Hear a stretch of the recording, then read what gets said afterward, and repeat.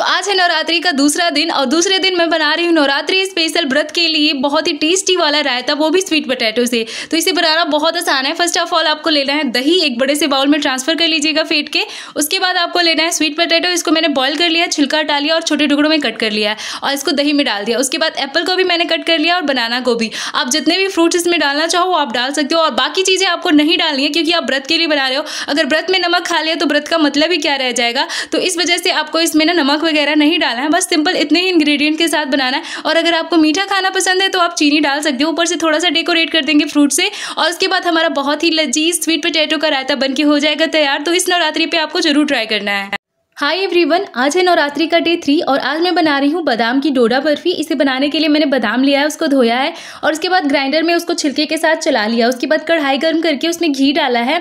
उसके बाद बादाम को डाल के अच्छे से इसको भूना है थोड़ी देर के लिए और जब इस कलर का हो गया, गैस को बंद कर दिया है और तुरंत मैंने इसमें दूध डाल दिया है आधा लीटर के करीब। इसको अच्छे से पकाया है, उबाल उबाल के। अगर आपको लगे कि दूध थोड़ा सा कम है तो आप थोड़ी सी दूध की मात्रा बढ़ा सकते हो। उसके बाद जब दूध थोड़ा सा रिड्यूस होकर कम हो जाएगा, तब आपको चीनी डाल देना है और इसको अच्छे से पकाना है और इस टाइम पे आप क्या करिएगा कि अगर दुकान वाला बनाना हो तो आप इसमें कलर का प्रयोग कर सकते हो। उसके बाद अच्छे से चला चला के जब ये गोल्डन ब्राउन कलर का हो जाए, गैस को बंद कर दीजिए और तुरंत इसको घी लगे बर्तन में ट्रांसफ़र करके और अच्छे से चम्मच की सहायता से फैला दीजिए और उसके बाद आपकी बहुत ही कम समय में बहुत ज़्यादा आसानी से बादाम की बर्फ़ी बन हो जाएगी तैयार। इसे कहते हैं डोडा बर्फ़ी। ये सिर्फ़ दस के बादाम से मैंने बनाई है तो आपको कैसा लगा ये वीडियो? तो आज हो गया पांचवा दिन नवरात्रि का। तो आज मैं बना रही हूँ कुछ स्पेशल नहीं, बस मैंने थोड़े से छुहाड़े लिए हैं और थोड़े से मूंगफली।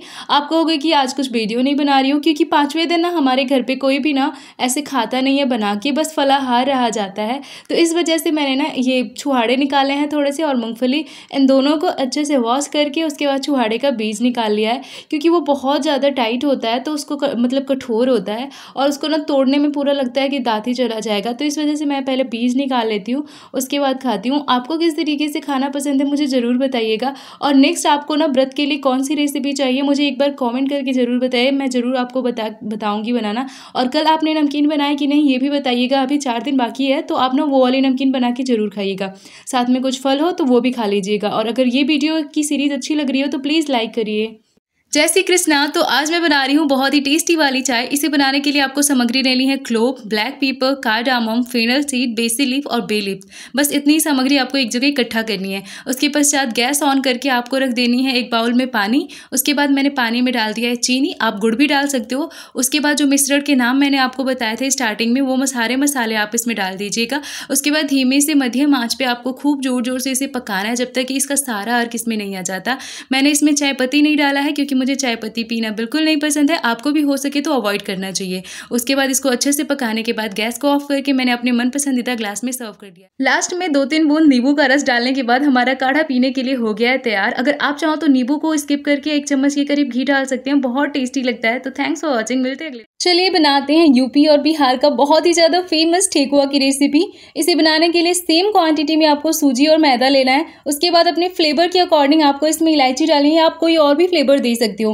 मैंने तीन इलायची लिया इसको कूट के डाल दिया। उसके बाद पिघला हुआ घी डाल दिया है मोइन के लिए। और इन्हें लड्डू बन जाना चाहिए, ऐसा मोइन आपको डालना है। उसके बाद आपको चीनी और पानी को पिघला के एक साइड रख देनी है। और उसके बाद इस मिश्रण के साथ मिक्स कर देना है। इससे लड्डू बन जाना चाहिए। सांचे की मदद से आपको अच्छा सा सेप दे देना है खस्ता का, और उसके बाद तेल गरम करना है, ज़्यादा हॉट ऑयल नहीं होना चाहिए। उसके बाद एक एक करके सभी को डाल दीजिए, और मध्यम आँच पे खूब अच्छे से सुनहरा कलर होने तक आपको तल लेना है। लीजिए तो हमारा ठेकुआ बनके हो गया है तैयार। तो इस छठ पूजा के लिए ये रेसिपी आपको सेव कर लेनी है, और सेम तरीके से बनाइएगा, बहुत ही ज़्यादा क्रिस्पी बनेगा, और आप इसे महीनों तक स्टोर करके रख सकते हैं। तो वीडियो कैसा लगा कॉमेंट करके ज़रूर बताइए। जय श्री कृष्णा तो आज है नवरात्रि का लास्ट डे और आज मैं बना रही हूँ बहुत ही टेस्टी और हेल्थी वाला बनाना शेक जिसे आप व्रत में ही नहीं, जब भी आपका मन करे, जब भी आप कमज़ोरी फील करो तो आप बना के खा सकते हो। सबसे पहले तो मैंने दो बनाना लिए हैं इनको अच्छे से मैंने कट करके मिक्सी में डाल दिया है। उसके पश्चात मैं इसमें डाल रही हूँ थोड़े से खजूर मतलब पाँच छः खजूर लिए हैं इनको अच्छे से धोने के बाद, बीज निकालने के बाद इसमें डाल दिया है। दो चम्मच चीनी लिया है, ताकि अच्छा सा मीठा टेस्ट आए। आप चाहो तो अवॉइड भी कर सकते हो हनी का प्रयोग कर सकते हो, या गुड़ का प्रयोग कर सकते हो। इसको पहले मैंने मिक्सी में पीस लिया ताकि एक भी गुठलियाँ ना रहे। जब हम इसे दूध के साथ पीसे तो। उसके पश्चात एक गिलास दूध डाला है। उसके बाद इसको अच्छे से मिक्स करके और हमारा रेडी है बनाना सीख। बहुत ज़्यादा टेस्टी लगता है और व्रत के लिए बहुत ही ज़्यादा परफेक्ट है क्योंकि इसे खाने के बाद आपको बिल्कुल भूख नहीं लगने वाली है। तो बहुत ज़्यादा हेल्दी और बहुत ज़्यादा टेस्टी वाला ये वाला ब्रेकफास्ट आपको ट्राई करना चाहिए। Thanks for watching.